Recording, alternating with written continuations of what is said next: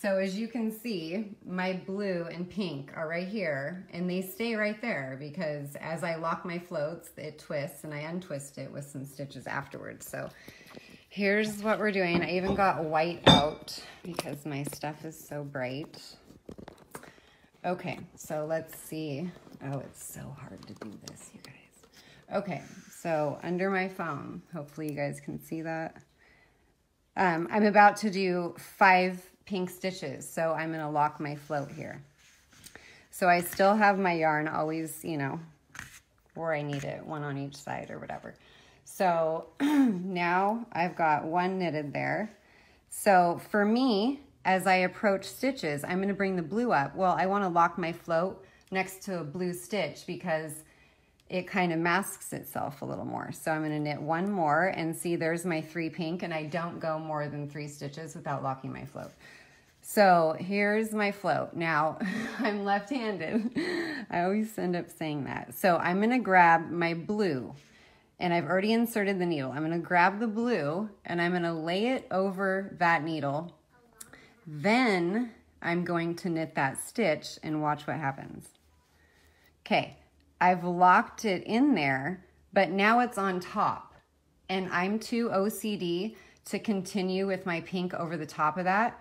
So I bring it back because I want it more flush. So you can see it's locked my, my blue yarn in there. So that's locking the float. So I have two more stitches to do. And then now because my yarn is twisted right here. I don't like that.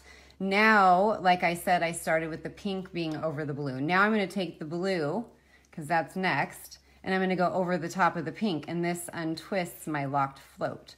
So there's one, two, and then now I'm gonna throw that back where it goes, and I'm gonna start with my pink again, and keep that on top of the blue. Do you see what I'm talking about? So let me make sure I'm not messing up my pattern here. Okay. so here's, here's what I mean about, um, I use whatever, I'm doing a bunch of blue right now. So I'm going to put the blue on my finger and then I'm just going to do however many I need in blue, which is two. And then I'm just going to grab the pink and do it like this. I mean, this is literally how I do Fair Isle. So, um, there's probably a million techniques, but I'm all about not having my strands twisted um, because it slows you down so much. So now I'm back to five more and I'm gonna have to lock my float here. So let me do that. And, and as I knit, see, I'm crossing two stitches right there, right? So I talked about the beginning, there's kind of a spring to the fabric when you knit across a few stitches like that, when I do that, I can feel it kind of go like that. And when it bounces back, that's where it should be. So I used to look and see, no, I don't do that anymore. And if you look at the inside of mine, look at all consistent. So um, I feel that spring. And so for me, I know it needs to be about that far apart. So I give my cinch over here, not over here. I mean, just gonna cinch it too tight right there. So I get it right at the end of my needle and have the cinch happen way out here so that I'm allowing for those two stitches that I'm crossing. So now where was I? okay. Oh wait, here we go. Okay. So two, and then like I said, I like to lock a float next to a matching stitch. So because I'm going over a blue stitch right now, it works great to lock it there instead of the next one. So I'm gonna do it on the blue. And there it is. So I'll work one more of these little sections and then I've got other stuff to do. So there's my fifth one. Okay, so now I've twisted it. So I'm gonna grab the blue and go over the pink now. And then now we're back. I don't have anything twisted over here. That's annoying. So back to, where am I at here? I have never explained Fair while I'm working on some Fair Wait, wait, wait. Okay, so I'm on a pink.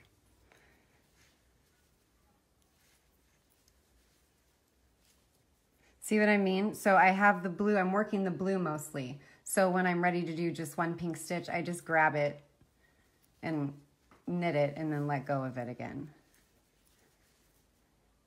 Okay. You guys. Hold on.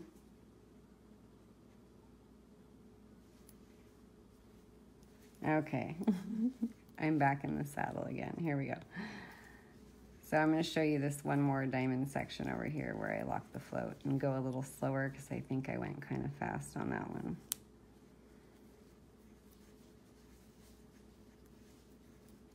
And as I'm knitting, I'm pulling this a little bit like this. So by the time I wrap that stitch, I've already got, I mean, right here, these pink ones are very, you know, they're individual stitches and they're crossing two stitches. But if you look, they're all the same. And see, this one I haven't worked yet, but they're all the same distance. That's how you get the consistency. Okay, so now I'm gonna do the five stitches again um, with locking a float. So hold on, here we go. So once again, I don't go more than two to three stitches without locking a float because that's how you get messy inconsistencies. Okay, so a blue stitch, I'm gonna lock my float right there. So my, you insert the needle, then you grab the color you, you're wanting to carry underneath your working yarn, underneath the working yarn, lay it in between your needles, and I always just grab it like that with this finger, and then you carry on and knit the stitch like normal and then let go and then now it's over the top of my pink. So like I said last time I'm going to grab the blue and pull it back because I don't want that blue in between those pink stitches. So um, I'm to do one more and with that locked float that I just did it just twisted my two strands. So now I've got my five stitches I'm ready to go back to blue. So I've been working my pink above my blue, but because they're twisted, I'm gonna grab the blue and I'm gonna go over the pink. And now it's back to not twisted. And then I carry on to the next sections. So now I'm gonna use the blue mostly. So I'll do my two stitches, grab the pink, go over the blue with it, knit the one I need and it really, it goes really fast, I think. And so the cool thing about this though, this pattern, there's only a couple rounds, maybe four out of 16 rounds do you have to lock your floats on this. So it goes really quick because a lot of them are just two to three stitches apart. So thank you, Marie. I just looked at the screen for the first time. Um, let me do one more for you. I'll lock a float for you one more time. So now I'm going to use pink, so I'm going to wrap that on my finger. So here we go. So I'm going to knit two, and because I'm carrying the blue, I want it to be blue wherever I'm going to be locking this float. It helps mask it. So now you take the, the yarn you're not using, and it's going to be under your working yarn, and you're going to wrap the, the yarn in between your needles there, and then just hold it down with a finger or whatever and then knit the stitch. And when you get through that, it has, it has locked, see that? It's locked my blue right there. That way I'm not having this huge blue loop that goes like, you know, five plus stitches. And then there's a chance your stitches get loose right there or a finger catches it or whatever. So, but by locking your float like that, um, it twists your strands. So what I always do is, I mean, I could just take the pink and go over this, but I've done that and I've seen it on the other side and I don't like that. So I move the blue out of the way and then I finish with the color I'm using, which I need five stitches. So now that they're twisted, I'm gonna take the blue and go over the pink because this twists them back into place. So now I'm gonna, they're untwisted. So there we go. So now I'm gonna continue with mostly blue. So I'm gonna use my finger with the blue. And then I'll grab the pink and just do a stitch.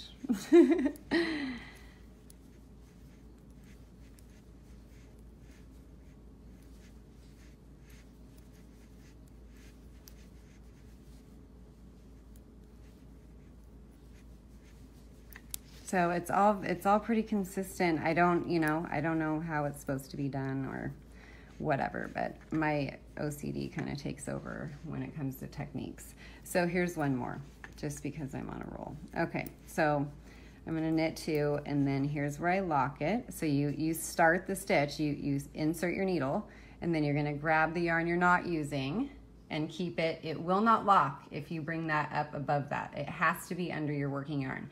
So under your working yarn, you just lay it over the needle there. It's in between. See, I just laid it in between my needles. And then I just hold on to it with a finger. And, and then you knit the stitch. And then after you slide it off, it's now over the top of my pink. I don't like that. It shows on the other side. If I were to grab the pink and go over the top of that, no, don't do it. so I pull it out of the way. And then as you can see, it's locked it in in my stitch right there. So it's locked in. And then now um, to untwist this, I'm gonna, oh wait, hold on. Let me do my two more stitches. Okay, so there I am, my five pinker there. So I'm gonna lay that down. I'm gonna have my blue go over the pink now to untwist my strands. So I never have my strands twisted by doing it this way. And I just am very, very particular, I like to say. So they're, they're untwisted now and then I'm just gonna keep going. So anyway, that's that. It's another beanie day, but I'm almost done with my cowl. So that's that's what I got. That's how I do it. I would love for you guys to tell me how you do it if you do it a different way, but um, I know I'll probably never change it because this works great. So I just keep them where I want them and, and it's almost done. Look how tall I'm so excited to wear this, you guys. Can you just, oh my gosh, I gotta go, I gotta go.